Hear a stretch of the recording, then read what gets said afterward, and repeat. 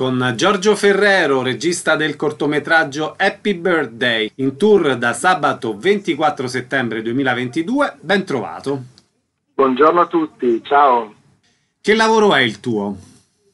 Un po' fuori dagli schemi in questo caso perché è un cortometraggio che ho girato a marzo a Mosca e un cortometraggio preparatorio del nuovo lungometraggio che sto sviluppando, che sarà il mio secondo lungometraggio dopo Beautiful Things eh, che è stato presentato a Venezia nel 2017 ed è un, appunto un film piuttosto sui generis perché è stato girato completamente attraverso i social network da remoto perché a marzo sarei dovuto andare appunto in Russia per fare un viaggio preparatorio per il film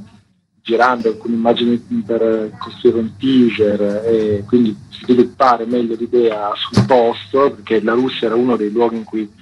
avrei dovuto sviluppare il film, non l'unico ma uno dei luoghi principali e non sono potuto partire e abbiamo deciso insieme alle ragazze russe, sono delle ragazze filmmaker, 35-35 anni, molto giovani, talentuose, abbiamo deciso di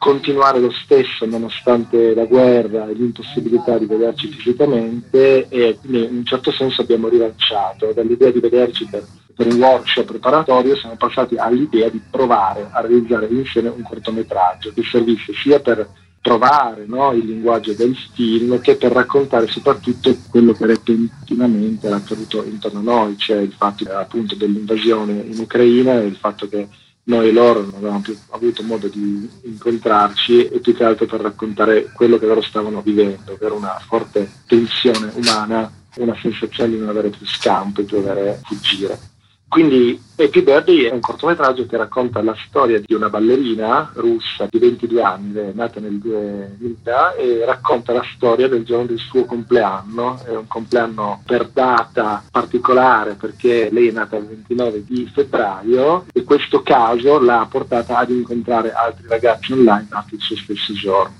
raccontiamo quella data, che è una data importante, simbolica per l'anno in cui viviamo, perché è un compleanno che accade pochi giorni dopo dall'invasione in Ucraina, è un compleanno che lei festeggia il 28 di febbraio, il giorno in cui abbiamo dato la storia, perché chiaramente nel 2022 non, non esisteva il 29, e raccontiamo questa giornata in cui questa ballerina russa, conosciuta sui social network come Electa, ispirata alla protagonista della saga di primavera di Dostoevsky, che è un balletto celebre per chi fa il ballerino in Russia, e in cui c'è questa ragazza che si manifesta sui social network in modo molto espansivo e molto catchy per il mondo intorno a lei virtuale, eh, che però allo stesso tempo vive delle grandi difficoltà, delle compressioni psicologiche interiori, sia in casa sua che nella società in cui vive. Ed è la storia di questa giornata in cui una ragazza eh, in una Russia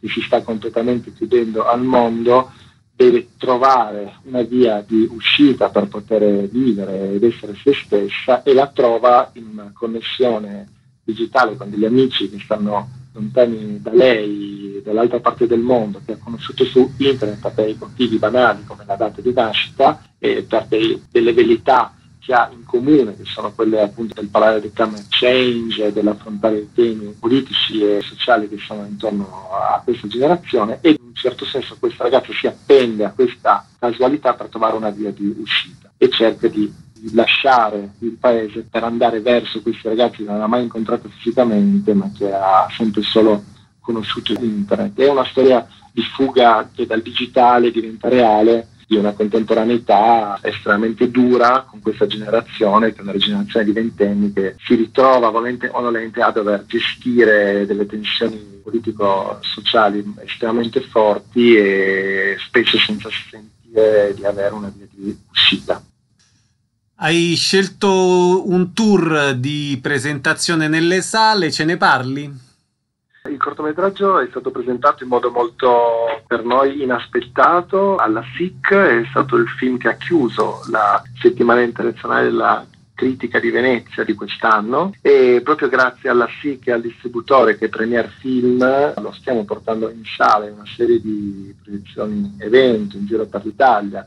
proiezioni a Roma, Verona, Trento, Gorizia, ci sono diverse città in battaglia che stanno ancora alimentando e durante il prossimo mese sarà visibile un po' in giro. Il film è stato acquisito dalla RAI quasi subito, quindi sarà poi visibile sui canali di RAI Cinema Channel e sarà programmato appunto dalla RAI prossimamente e attualmente non è ancora invece uscito all'estero e avrà una prima internazionale a breve, sta per iniziare a fare il suo tour di festival internazionali. Quindi si può vedere prossimamente in alcuni cinema italiani e poi si potrà vedere sui canali della RAI.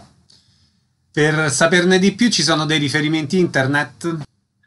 C'è il sito del distributore che è Premier Film, ci sono i miei canali digitali come Giorgio Ferrero, sia su Instagram che su Facebook, in cui si trovano tutte le informazioni dei miei progetti e anche le date di questo tour dentro ai cinema di Happy Bird. Io sarò presente in alcuni eventi, potrò incontrare anche il pubblico e raccontargli questa storia che parte dalla sala ma poi entra fortemente nella nostra vita reale.